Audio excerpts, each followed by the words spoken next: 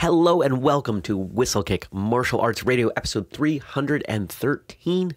Today, we're talking about the terms, the places, dojo, dojang, where they come from, what they mean, and all kinds of other stuff. This is going to be a little bit of a history lesson, cultural discussion, and some other stuff. It's not going to be just rattling off definitions. But before we get to that, my name is Jeremy Lesniak. I'm the founder here at Whistlekick. I'm your host for this show, and you can find all of our other episodes at whistlekickmartialartsradio.com. You can find everything we do, from our projects to our products, at whistlekick.com. We're on Amazon. We might even be in your dojo or dojang, because we do offer wholesale accounts. And we have customers who buy stuff because they are kind enough. They see what we're doing they value this movement that we're trying to usher in, to bring traditional martial arts to its proper place in the world. And they support us financially. You can support us financially, but you can also support us by sharing this show. I don't talk about that often. If you help other traditional martial artists find this show, it gives us a bigger platform. And with that bigger platform, we can attract bigger guests, we can have bigger conversations, and we can continue our movement to bring traditional martial arts to everyone. Because as I've said before, there is nothing else that you can do for, say, six months that will have as big of an impact on your life as traditional martial arts. With these Thursday shows, I do try to mix it up. And today we have this wonderful write up from one of our team members on the dojo and the dojang give you a little bit of knowledge, history. We could test you at the end. This would this would feel like a, a good kind of book report project. But that's not what we're going to do. There's no price of admission, there's no test. It's just for sharing knowledge. The Japanese term dojo, or place of the way, is commonly known as a specialized place of training, especially in martial arts. Traditionally, this is the place where people enhance their skills and train seriously with discipline. The term is also used by some meditation practitioners, including Zen Buddhists, though a more specific term, Zendo, is more commonly used. In Japan, the term dojo is used for any facility that is dedicated for physical training of any discipline.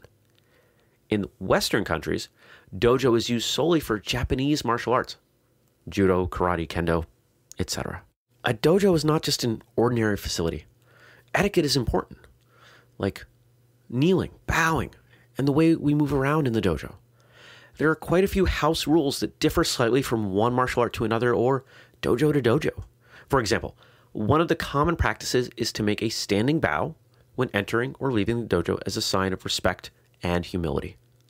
Unnecessary talking during practice is generally prohibited and this is not a place for socializing, so staying on the mat or the floor without practicing is often prohibited. In many schools, the students have the responsibility of cleaning the dojo whenever they train. Overall, the rules incorporate discipline and respect towards each other. However, the implementation of these rules differs from one dojo to another. Some modern dojos don't strictly implement the rules, and the original practices are often neglected. A dojo is not just a place for enhancing physical abilities and techniques. Since the traditional use of dojo is for training Japanese martial arts, the principles of these martial arts are carried over to the definition of dojo. For example, Judo teaches courtesy and gentleness, and Shotokan Karate teaches that practitioners should be, quote, constantly mindful, diligent, and resourceful in your pursuit of the way. And that is a quote, of course, from the founder of Shotokan, Gichin Funakoshi. Therefore, it can be said that a dojo is a place where we diligently improve ourselves to be a better person and to be beneficial to society. Not just a place to be an expert martial artist, it's a place where morality and good manners are practiced and honed. There are no design rules in constructing a dojo, so dojo appearances vary from one another. In terms of layout, however, traditional dojos have shomen, which means front, and may have different entrances based on rank. There is also the kamiza, place of honor, that is reserved for the most prominent people. The kamiza is located farthest from the entrance. The opposite of kamiza is shimoza, bottom seat, where the students enter. There is also kamidana, god shelf, that is located at the back of the kamiza that contains the Shinto kami, the spirits. The kamidana is always set up above the eye level and should not be located above an entrance. The weapons rack, if any, is also placed as part of the kamidana. On the right side, facing forward, is where Joseki is located. This is where the more senior students and instructors bow in. Opposite the Joseki is the Shimoseki, where the lower rank students bow in. There's also a place for putting shoes that is located near the entrance. Typical custom in that part of the world. Now, of course, your martial arts school might be laid out different. Even if you practice karate or judo, you may have a very different layout. I'll be very honest. Most of the martial arts schools I've trained in, the Japanese schools, do not follow these rules. In fact, I'm going to guess that most traditional Japanese schools in the US don't know about these formalities. And that's okay. If you do, that's great.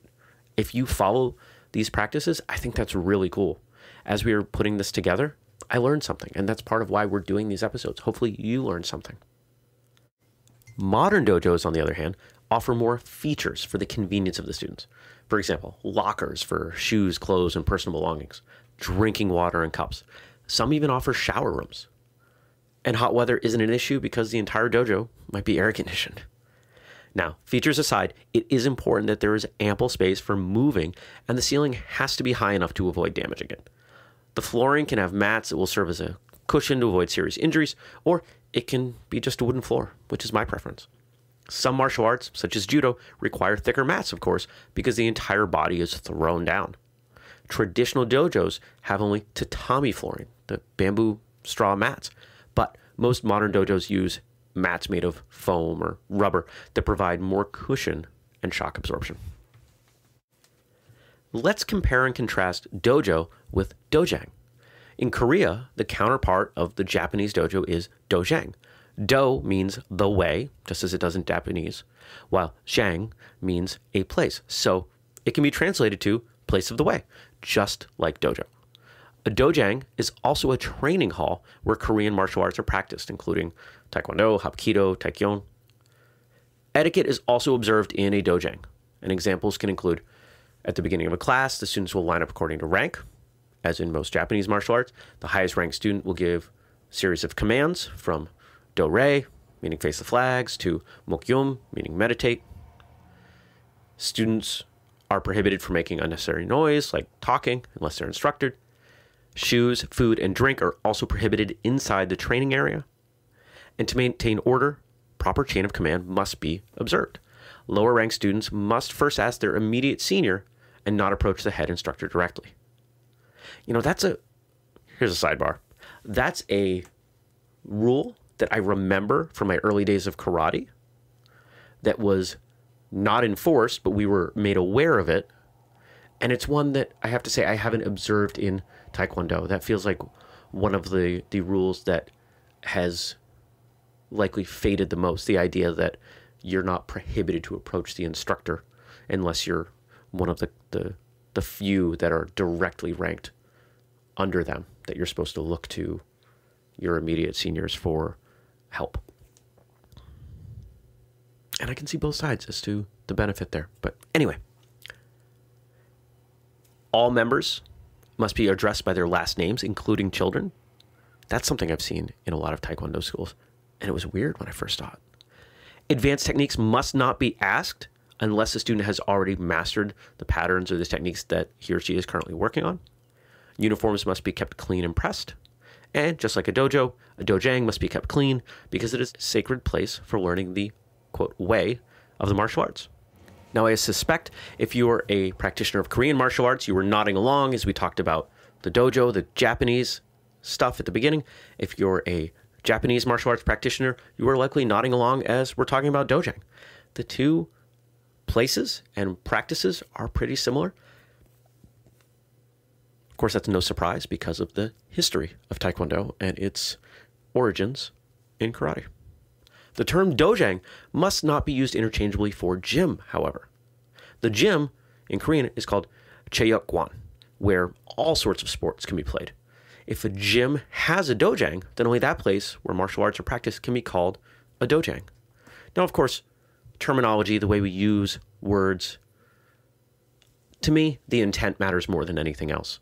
I know plenty of folks who refer to their Taekwondo training space as a gym because it's a term that is understood here in the United States. If we start calling things a dojang, that's a term that not everyone knows. And it's okay. It's not necessarily meant with disrespect. And to me, as long as something is said with the intention of disrespect, or at least the lack of disrespect, it's all good.